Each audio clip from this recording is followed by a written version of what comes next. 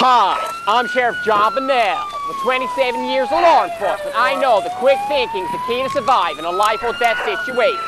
So we're going to show you videos of officers doing just that. So sit back and hold on tight, because this thing's going to the top. And it's coming down fast. West County, Ohio. Cops randomly stop a car on a residential street as a brake light is missing from the rear. As a cop casually approaches, the driver decides to make a sudden getaway. After making a quick radio call, the officers find out the car has been reported missing and hijacked by two armed robbers. After a short drive through busy streets, the crooks think they can outrun the law by leading the cops onto the highway. These mindless felons had moments before held up a liquor store, and the cops keep a safe distance from the car.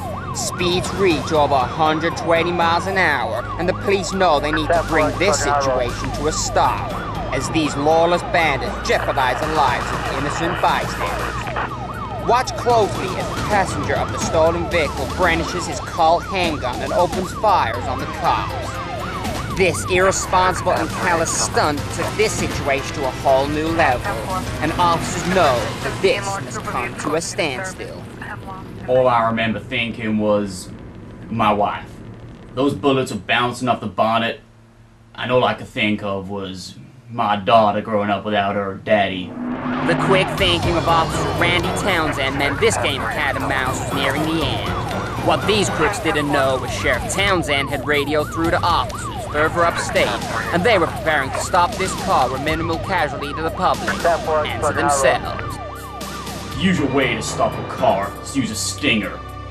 But once we saw him move off the road into the airport, we had to act fast and with brute. Blowing out the tires with a pistol is a last resort for a cop, but the chase was nearing a horrific climax which could kill hundreds. The crooks were finally forced to stop the car as the road leading to the terminal was blocked.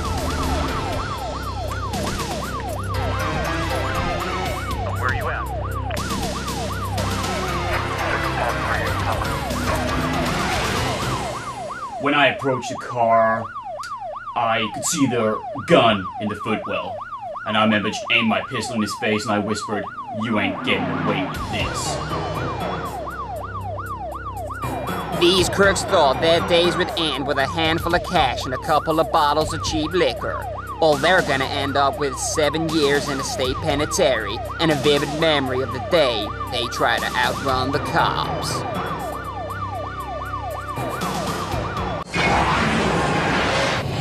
Day after day, cops continue to risk their lives in order to put these criminals behind bars. With increasing technology and communication, it's harder for the crooks to get away from the law and justice. If there's anything we've learned from today's videos, don't mess with the law. I'm Sheriff John Bunnell, and you've been watching the world's wildest police videos.